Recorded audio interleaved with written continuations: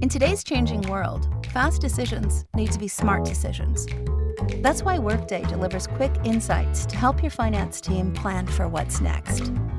Workday, the finance, HR, and planning system for a changing world.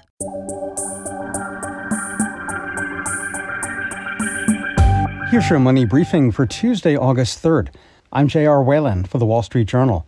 These are uncertain times for apartment renters. The federal eviction moratorium that kept many cash strapped people in their homes during the pandemic expired over the weekend. And for those who have been able to make their monthly payments, they face rent prices that have risen more than 10% in the past year. Many landlords will continue to work with tenants, but there's no law that, that's really creating a situation where they have to do things like that. Coming up, we'll talk with our housing reporter Will Parker about what's driving rents higher, and we'll get an update on efforts to extend the eviction moratorium. That's after the break. In today's changing world, fast decisions need to be smart decisions. That's why Workday delivers quick insights to help your finance team plan for what's next. Workday, the finance, HR, and planning system for a changing world.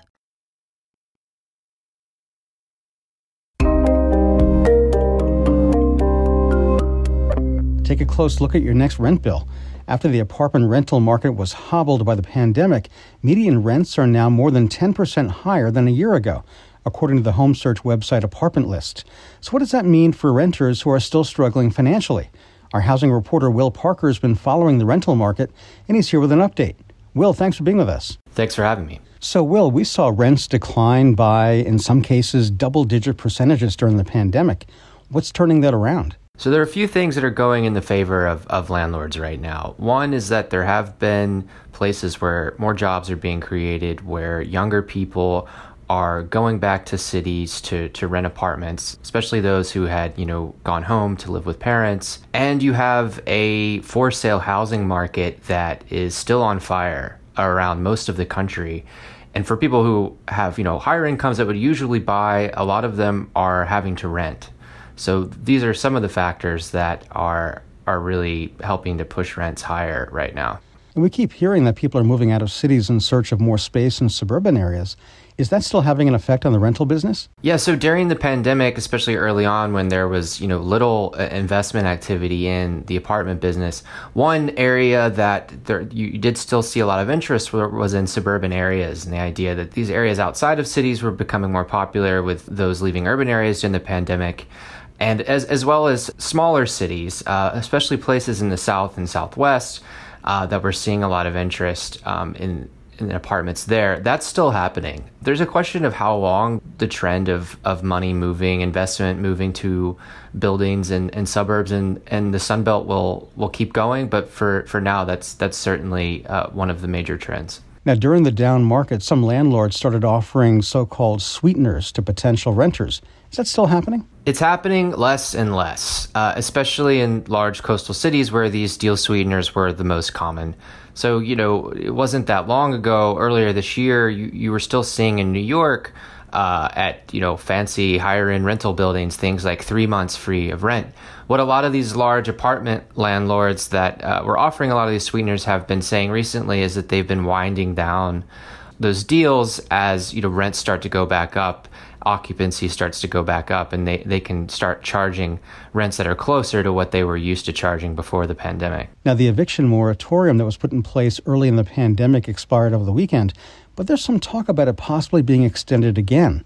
What's the latest on that? So, what happened late last week is the White House said that the CDC, which had initially put the eviction moratorium in place, no longer had the authority to do it again, to extend it again. And they cited a Supreme Court ruling on the matter that threw the CDC's ability to do that into question. Um, you had Democrats in, in, Congress who were now being told that it was up to them to to pass the extension.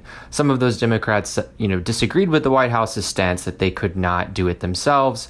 But ultimately, the lawmakers and Congress were not able to come up with an agreement in time for the eviction moratorium's expiration, and so it did expire this weekend and the House of Representatives is on vacation right now, and it's not clear that at the national level there's any kind of extension forthcoming. So, with the moratorium suspended, what do we expect to see from landlords?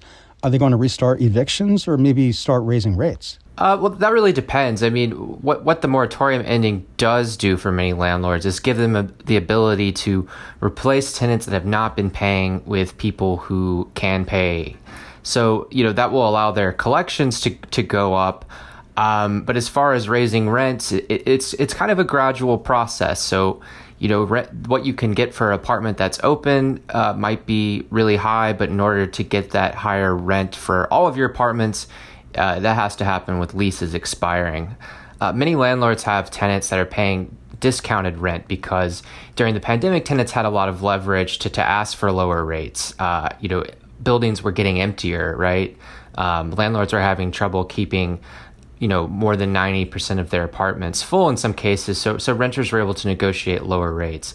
So landlords are not going to be able to realize these higher rents until some of those people who have these pandemic discounts reach the end of their current lease. You know a lot of tenants who relied on eviction protection to get by are still struggling. Do they have any leverage now? With the eviction moratorium now expired, you know, a, a, lot of tenants who, who relied on that to, to stay in their homes despite, you know, being behind on rent they you know they don't have that sort of leverage with their landlord when it comes to negotiating things like you know perhaps a payment plan or you know some sort of agreement that would give them more time to pay rent. Many landlords will will still do that and continue to work with tenants but there's no there's no law that that's really creating a situation where they have to do things like that. So now you know what we may see is an increase in, in evictions uh, on tenants who have not been able to make their full rent payments. Now, the federal eviction moratorium has gotten much of the spotlight, but what's the status of other renter protections put in place, you know, by state or local governments? So there, there are really only a handful of, of states that have their own eviction moratorium now that the federal one has expired. There's California, New York, Illinois has some protections. Um, and, and, you've seen a, a few local governments, cities do do their own as well. Um, over the weekend, DeKalb County, which is a part of Greater Atlanta and Georgia, uh, you know, did a 60 day extension of the moratorium. But for the most part, um, you know, those those are the exception. Uh, most local governments do not have eviction protections that are equivalent to what the CDC had been providing. So, with the moratorium expired, let's say a tenant is evicted, but then the moratorium is restored. Would that tenant have any recourse in that case? Yeah, if the moratorium is extended in the next few days, that would put most of the tenants who you know are behind on rent um, and who had been protected by the CDC moratorium, that would put most of them back in the situation they were before the expiration. Um, it's possible that you know with a week or two weeks in between there are, there are people that would fall between the cracks and you would see momentarily a, a big increase in evictions before uh, you know, an extension, however late, would kind of put us back in the same situation we were in up until the end of July. All right, that's WSJ housing reporter Will Parker. Will, thanks for joining us on the show. Thank you. And that's your money briefing. I'm J.R. Whalen for the Wall Street Journal.